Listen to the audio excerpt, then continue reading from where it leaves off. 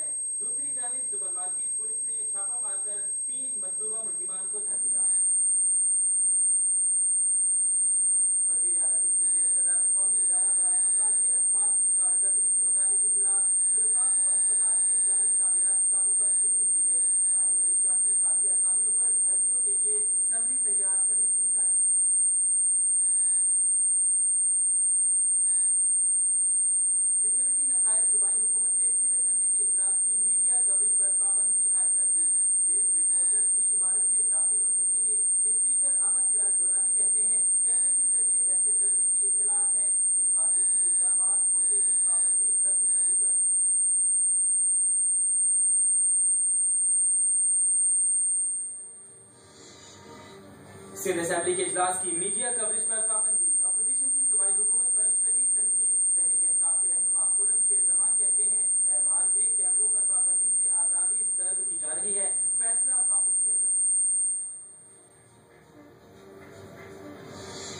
منتخب نمائندوں کو اختیارات نہ دے کر جمہوریت کی نفی کی جا رہی ہے۔ پی ایس پی سربراہ مصطفیٰ کمال کہتے ہیں، صوبائی فنانس کمیشن بننے تک شفاف طریقے سے ترقیاتی کام ممکن نہیں۔ حکومت کے تمام منصوبے کاغذی کارروائی تک محدود ہیں۔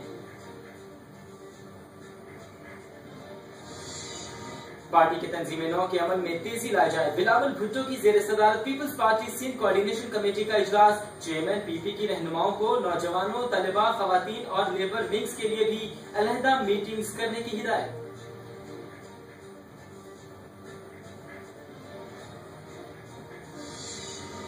سائی سرکار کو بے گھروں پر ترس آ گیا ملی ڈیولپمنٹ اتھارٹی نے سنگل اور ون یونٹ بنگلے کی فراہمی کے لیے تیاریاں مکمل کر دی وزیر بدیات جام خان چورو کہتے ہیں، عوام کو سستے اور معیاری مکان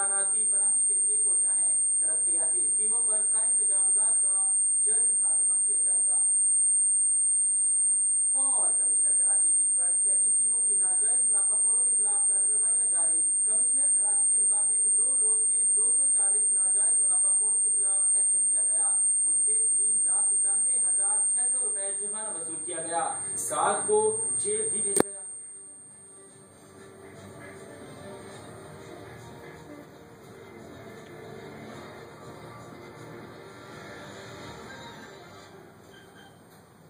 ہیڈ لائنز آپ نے جانی مزید خبروں سے باخبر رہنے کے لیے آپ دیکھتے رہیے کے ٹوئنٹی